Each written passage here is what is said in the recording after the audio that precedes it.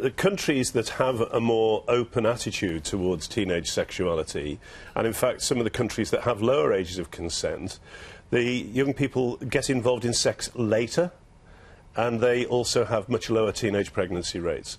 The problem we have in this country is that we still have this kind of fantasy about young people, and we, we live in a, a world of uh, wish fulfillment.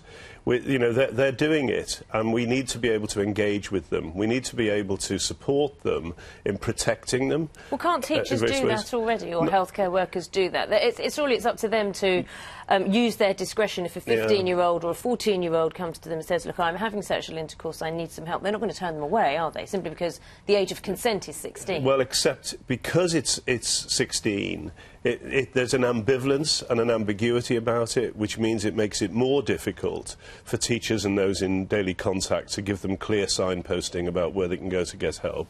But you're raising another issue here as well, which is we need to put more resource into sexual and relationships education in the schools, and we need to professionalise it so that it's really well done.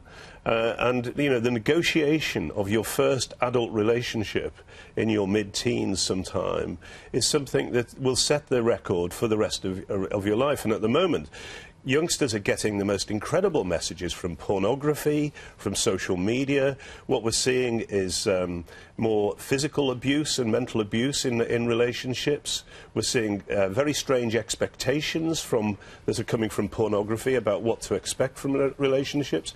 And this needs to be corrected. It needs to be corrected by being able to have open discussions, uh, you know, in, in a sensible environment.